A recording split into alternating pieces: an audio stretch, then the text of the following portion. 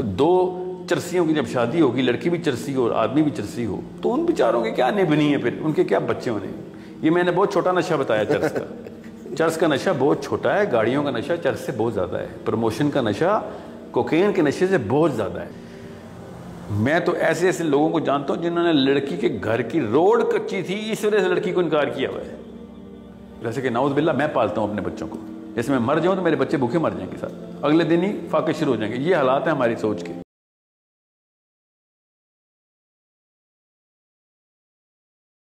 ये यहाँ कोई कोई सिस्टम कुछ नहीं होता। सिर्फ़ एक माँ होती है और एक बाप होता है।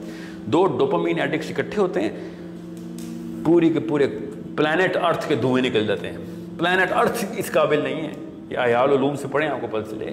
पूरी कुर्रा अर्ज़ इस काबिल नहीं है कि वो एक लखपति का बोझ उठा सके। इतनी डिमांड होती है एक लखपति की।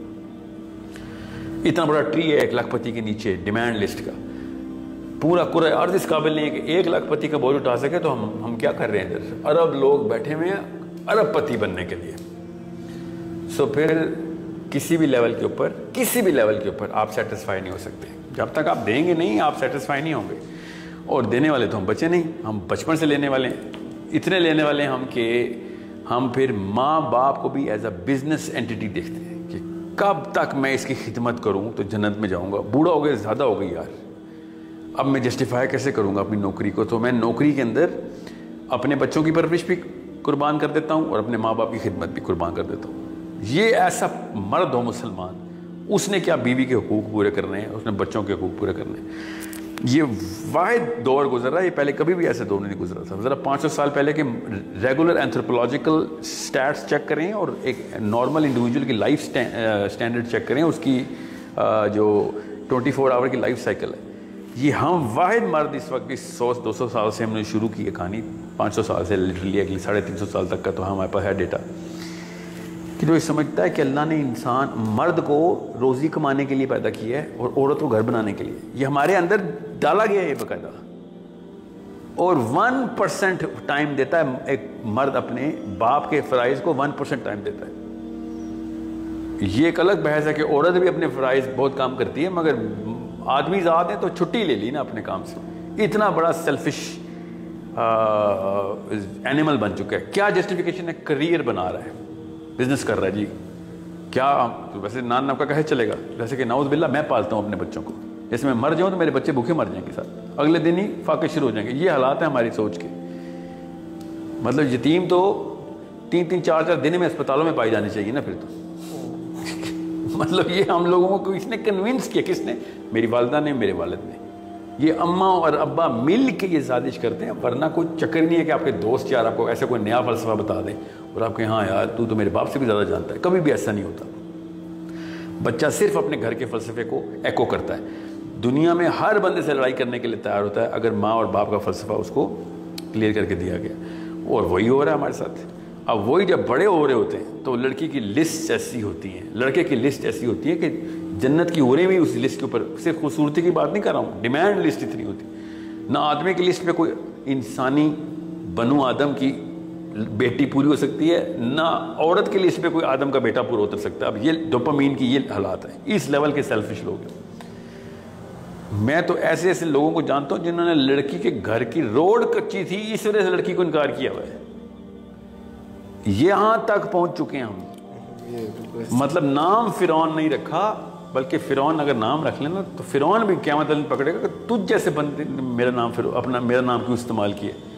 तू तो इतनी गहराई में गया, मैं तो बड़ा ग्रेसफुल आदमी था। अबू जहल भी हम पे ऐसे कहा यार तुम तुम लोगों को मतलब वो लो लो रैंक्स मिले हैं दोजख के कि हम अयाशी में तुम्हारे इस लेवल पे हम ले गए क्यों? क्योंकि हमें इस्लाम मिल गया था उसके बावजूद ये काम किया हमने। इतना बड़ा नशा करते हैं हम तो दो चरसियों की जब शादी होगी लड़की भी चरसी हो और आदमी भी चरसी हो तो उन बेचारों के क्या निभनी है फिर? उनके क्या बच्चे होने ये मैंने बहुत छोटा नशा बताया चरस का। चर्च का नशा बहुत छोटा है गाड़ियों का नशा चर्च से बहुत ज़्यादा है। प्रमोशन का नशा कोकेन के नशे से बहुत ज़्यादा है। एक कोकेन का एडिक्ट कोकेन के लिए जो कुछ करता है ना, वो कुछ भी नहीं है। एक आदमी पाकिस्तान का हो या इंडिया का हो, अरब का हो या अफ्रीका का हो, जो अपनी नौकरी में प्रमोशन के लिए करता है ना, वो पिछले दौर के कानून अपने अपने ख़जानों के लिए करते रहे थे। ये सिर्फ़ बारह हज़ार, पंद्रह हज़ार की एक साल की इंक्रीमेंट के लिए जो सियासतें कर छोड़ता है ना, वो जो टाइम दे देता है, सारा कुछ ज़ाया कर देता है अपने बच्चों का। So these zombies better get divorce तो शुक्र है डिवोर्स हो रही नहीं तो मैं अगर ये कत्ल भी कर रहे होते ना अपने बच्चे तब भी मुझे कोई ज़्यादा हैरत ना होती। ज़ाहिर है सेल्फिशनेस की पीक होती है ना कि बच्चा रिसोर्स के ऊपर बोझ जितना मर्ज़ी कोई एतराज़ करे मेरी इन अल्फाज पे, कि आप होते कौन हैं? हमारे, हम हम कितने प्यार करें अपने, वो प्यार थोड़ी कर रहे हैं। नाज पाल रहे हैं, नखरा, एक डोपामीन का जॉम्बी एक और पाल रहे हैं दुनिया में। उसके नखरे पाले जा रहे हैं कि ये ले एक्स बॉक्स ले। जो तू कहेगा वो होगा। हर लड़कों को लड़कियों के नाजो नखरे से पाला जा रहा है और लड़कियों को किसी पता नहीं शो बेस की इंडस्ट्री के लिए बड़ा किया जा रहा है। Are not no what what's इतनी स्पीड टेक्नोलॉजी की वजह से इतने पर लगा चुकी है डोपामीन इतना पर लग चुका है डोपामीन का कि जो स्पीड पाँच पाँच सौ सालों में आनी चाहिए थी, वो दस दस सालों में कर रहे हैं हम। दस सालों से भी जल्दी। आपका ये कॉन्सेप्ट तो समझ आ गया, यानी ज़ाहिर सी बात है बच्चों का जैसे कहते हैं ना, उनको व्यूज़ और इंस्टाग्राम लाइक्स और इस तरह की डोपामीन लेवल बड़े मल्टीपल लेवल्स में उनको उनका वो जो कहते हैं ना वो सेंटर बहुत बड़ा हो चुका है ये बात समझ आ गई। बच्चों के नहीं ये उन लड़कियों और उन लड़कों की बात कर रहा हूँ जो शादी के उम्र में आ चुके हैं उनकी तलाक़ें हो रही हैं ना। बचपन से तो उनके साथ हुआ ना बिल्डअप तो नीचे से ही होता है। बिल्कुल। सो so, ये जितना मर्ज़ी को कहना है कि यार लड़के के ये मामला मसाइल में हैं लड़कियों के ये मसाइल हैं आजकल नखरा बहुत है और या फिर तरबियत सही नहीं होती ये तो बहुत जनरल टर्मिनोलॉजी है। मैं कोर बता रहा हूँ आपको सेल्फिशनेस की ट्रेनिंग ख़त्म करेंगे, तलाक़ें ख़त्म हो जाएँगी। आखरत के कॉन्सेप्ट से स्टार्ट करेंगे कहानी, तलाक़ें ख़त्म हो जाएँगी। कबर, आखरत कबर, आखरत, ये कहानी होनी चाहिए। ये लोग क्या करते हैं? हम लोग सारे, ये लोग क्या? कि बड़ा घर, छोटा घर, बड़ी गाड़ी, छोटी गाड़ी। ये ये कहानी है। कोई भी मुझे ये ना कहे कि साहिल साहब, आप दरवेशी सिखाते हैं। मैं दरवेशी नहीं सिखा रहा हूँ, मैं इंसानियत सिखा रहा हूँ। दरवेशी इंसानियत दो अलग अलग लेवल्स हैं। पहले इंसान तो बने हम बाद में दरवेशों की तरफ़ जाएँगे। इंसानियत, पहले हवानियत के लेवल से तो बाहर आए ना। ये सब हवानी लेवल्स हैं। जितना मर्ज़ी कोई कह दे कि, साहिल साहब, खुद तो आप कह रहे थे कि वाहिदुलमस्तता तुम हमें टेक्नोलॉजी पकड़नी चाहिए साइंस पकड़नी चाहिए, दुनिया में। सब साइंस पकड़ें, अपने लिए ना पकड़ें, बस अल्लाह के लिए पकड़ें। किसने कहा है कि अब साबित दिलाते तो वो साइंस की बिना के ऊपर नोबेल प्राइज़ के लिए बैठे होते। कि मुझे नोबेल प्राइज़ मिलेगा। कोई साहबी की ये आपको साइकोलॉजी समझ आई गांधी जैसे बंदे ने ग्यारह दफ़ा नोबेल डिक्लाइन किया है।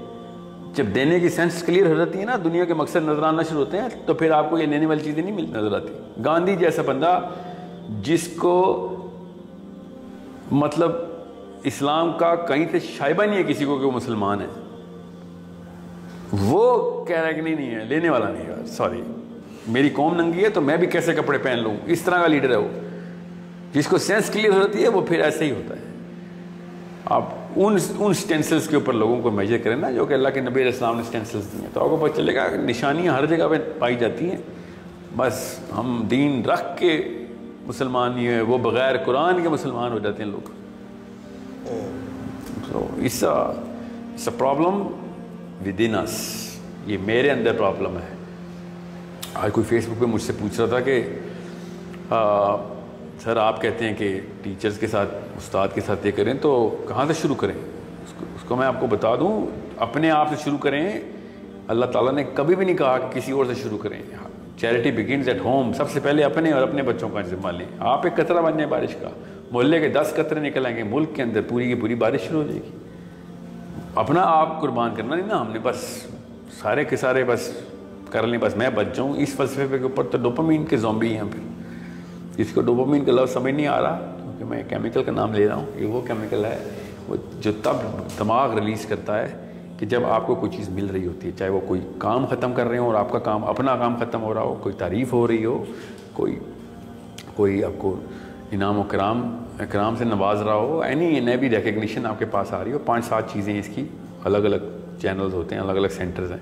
मगर मिलता तभी डोपामीन रिलीज़ तब होता है जब आपके तरफ़ कुछ आ रहा होता है तो you are the receiving end of something so आपके बच्चों की तरफ़ नहीं, आपकी तरफ़। आपको कुछ चीज़ मिल जाए। मतलब मैं और मेरा बेटा बैठे हुए हूँ और माइक के ऊपर अनाउंस हो के इस वक्त के विनर जो है ना, वो साहिल अदीम है। ठीक है? तो डोपामीन मिलेगा मुझे।